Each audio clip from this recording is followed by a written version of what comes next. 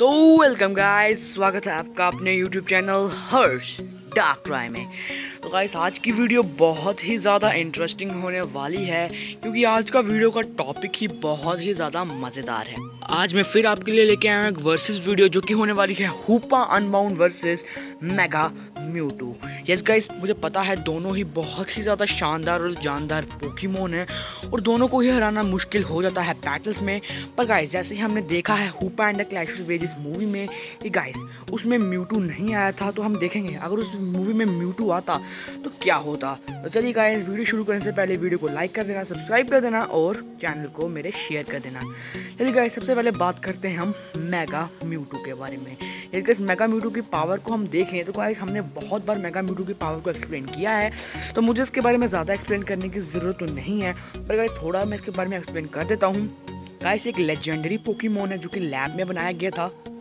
इसके पास दो मेगा एवोल्यूशन है Mega Mewtwo Y Mega Mewtwo X पर गाइस हम इसमें मेगा म्यूटू वाई लेंगे, क्योंकि सभी यूट्यूबर वही लेते तो हम भी वही लेने वाले हैं।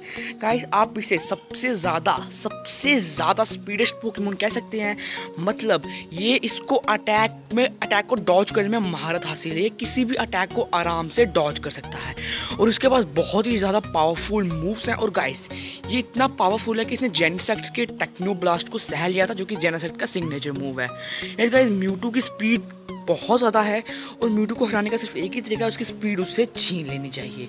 यस गाइस म्यूटू एक साइकिक टाइप लेजेंडरी पोकीमोन है और उसको मूव आते हैं Sai strike Sai wave Sai beam protect जैसे मूव एक इसका सिग्नेचर मूव है साई स्ट्राइक जिसे एक ऐसा और छोड़ता है जिसे कोई भी पोकीमोन नहीं बच सकता।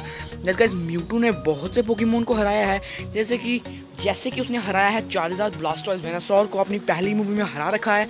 और गाइस इसने भी बहुत से अच्छे पोकीमोन को टक्कर दिए, पहले ईविल था, पर बाद में इसने अच्छे काम करना शुरू कर दिए।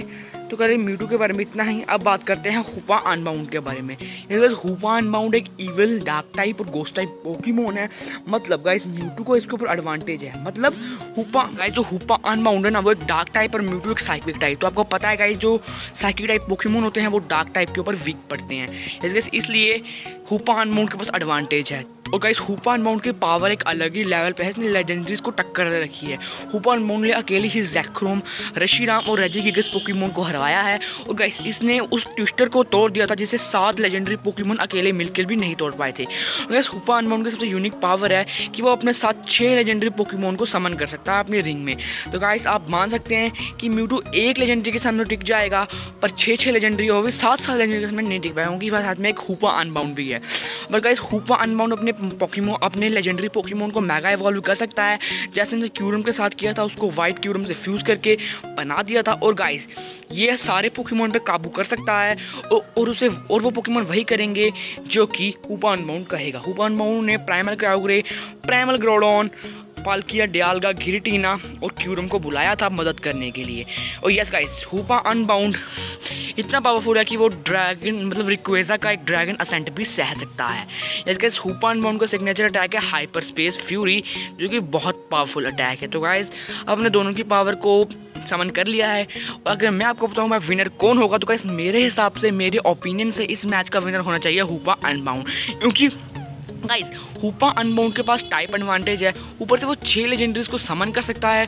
ऊपर वो अकेला ही उसके म्यूटू के ऊपर काफ़ी है, इसलिए गाइस इस मैच का विनर होगा हुपा अनबाउंड तो गाइस चलिए मिलूँगा आपको नेक्स्ट वीडियो में। Good bye thanks for watching my awesome video subscribe subscribe for more awesome content